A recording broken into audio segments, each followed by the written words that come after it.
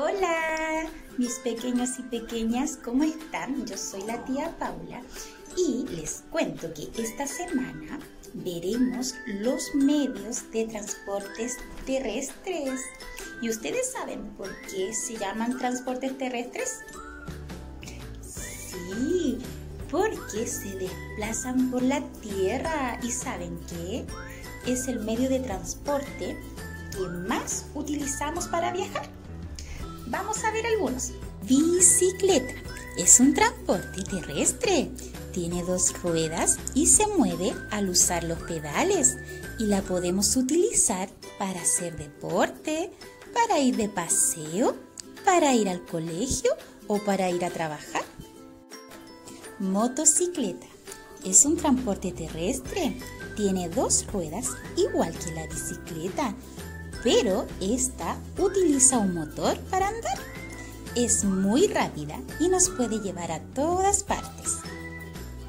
Auto es un transporte terrestre. Tiene cuatro ruedas, utiliza motor para andar y podemos viajar con nuestra familia a todas partes. Bus es un transporte terrestre. Tiene cuatro ruedas, también utiliza motor para andar y lo conduce un chofer y puede llevar más de 20 pasajeros. Camión es un transporte terrestre y sirve para llevar productos de un lugar a otro lugar. Tren es un transporte terrestre compuesto por una serie de vagones. Es dirigido por una locomotora va sobre rieles y viaja muy rápido por las vías. Recordemos, hemos visto seis medios de transporte terrestres.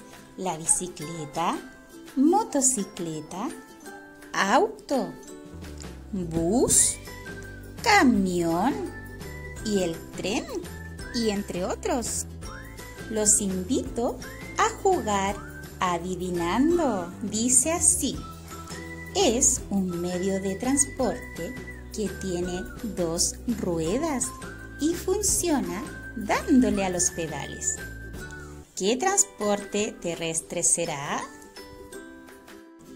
Muy bien, es la bicicleta. Es un medio de transporte que comienza con A nos lleva y nos trae a todos lados. ¿Qué transporte terrestre será? Sí, el auto. Tengo dos ruedas y un gran motor. Soy como una bicicleta, pero mucho más veloz.